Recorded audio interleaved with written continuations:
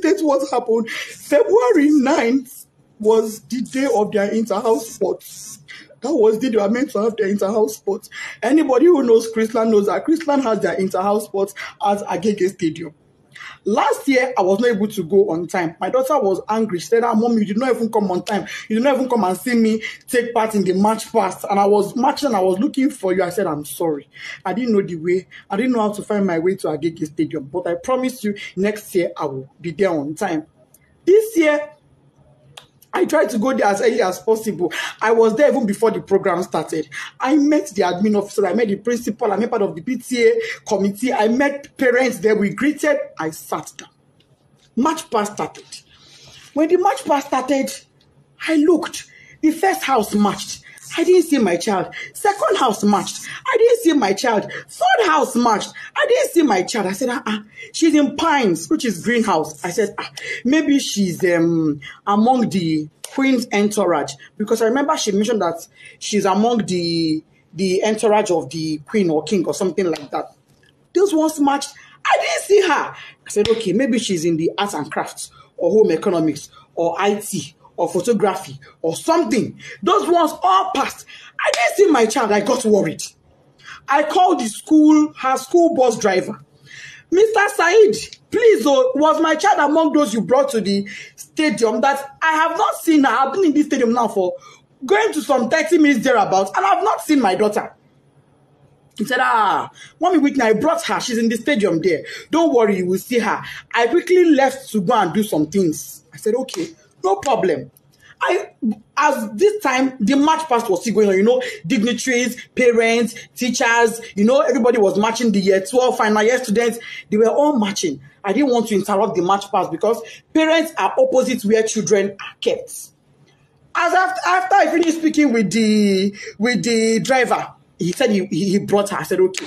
Maybe she got hungry and had to leave and buy something outside. Because she had breakfast before leaving the house. I made sure she had breakfast. Knowing she was going for inter-house sport. And she was with money. I went to the snacks point outside. I didn't see my daughter. I said, ah, ah where could this girl be? So I waited. March past was over. I crossed to the other side. On my way there, I met a, a man. The man said, Ah, madam, parents are not allowed at this side. I said, ah, I know. I just want to check on my daughter. He said, Okay. I went in there and I saw some students there. And I asked a boy there, please. Meanwhile, before I got to that across, a bus sped by on high speed, zoomed. And I said, ah, ah how can a bus be driving like this when you know children are in the stadium? But I just said that and I, I went on my own. So when I saw the boy, I said, ah, please, I'm looking for Whitney. Adeniran. The boy said, ah, a girl just fainted here. But they have taken her, the school bus has taken her to the hospital. I said, ah, a girl fainted. Oh, may God give her quick recovery. Why did she faint now? Anyway, I'm looking for Whitney Adeniran. She's my daughter. The boy said, the girl that fell, her name is Whitney. I heard them calling Whitney, Whitney when they were pouring her water. I said, Jesus. Oh, it's not my own child. My daughter's name is Whitney Adeniran. And I brought out my phone. The boy said, I don't know her surname, but I know her name is Whitney. I brought out my phone and I showed the boy her picture. And he said, This is the girl that fell. I said, What? What happened to her? Why, why would my child fall? She hasn't done anything strenuous. She wasn't sick. She hasn't done any, any activity. What is going on? Why would my child faint? A man was there. The man said, ah, madam, ibi ló dúró sí. Ó ṣubú. Meaning, she was standing here. She fell. I poured water on her. I said, ah, ah. Who took her? He said, school bus no ambulance, no doctor, no nurse, no medical personnel, nobody. There was no emergency provision on ground in a place where you have over 500 students. In a place where you have over 100 parents. In a country where insecurity is so high. You kept our children in that field with no proper medical arrangements in case of any emergencies. When the boy said the school bus took, I said, oh, Was it my child that was in that bus that sped by? I ran out. I met a staff coming towards me. The staff said, Oh, Mommy Whitney, we've been looking for you. You were so calm and casual. I said, Oh, Mommy Whitney, we've been looking for you. um, Whitney fell. I said, yes. Then she fell. He said, oh, yeah, she fell. But don't worry, she'll be fine. We've taken her to the hospital. I said, okay, let's go to the hospital. Immediately, I picked my phone. I called my husband. My husband wasn't picking. His PA said he was in a meeting. I said, please get the phone across to him. I don't care who he's having that meeting with. Even if it is the governor, go and give him the phone. It's an emergency. The guy went and gave my husband the phone. I told my husband what happened. My husband said, okay, no problem. Go to the hospital. I will make a few calls and I will meet you there myself. I'm on my way already.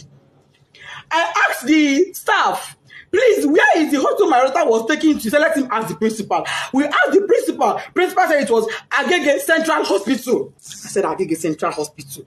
She said yes. I brought out my phone. I put it on Google Map. It wasn't showing. I put it again. Agege Central Hospital. It was not showing. What I saw was Agege Central Mosque. I said, ah, Central Mosque, Central Hospital. Ma, it's not showing. She said, don't worry, just ask around, go. They would they will tell you.